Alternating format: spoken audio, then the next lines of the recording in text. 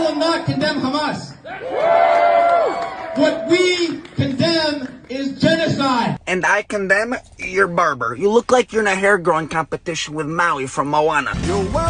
Shave it off, okay? You look like a failed science experiment. What are you doing? It's obviously affecting the way you think. You cannot say in the same sentence that you do not condemn Hamas, but at the same time you do condemn genocide. It's a little bit of a contradiction, okay? Hear me out. Hamas attempts to do genocide on the freaking daily, okay? They wake up in the morning, they brush their teeth, they have their morning coffee, and then they look at their watch like, all right, guys, it is a quarter past genocide. Everybody take rockets and fire away. They're not firing rockets at military bases. They're firing rockets into Israel, into any place that they can kill innocent people, including Arabs, Jews, Christians, uh, llamas, anything that they can murder, they'll murder, okay? And somehow you don't see that as an attempted genocide. You're like, I don't see anything. I can't feel, smell, or breathe. What is happening right now? But when Israel retaliates, suddenly you're like, I actually have a master's degree in warfare. I have hypersenses and I can see, smell, and feel everything.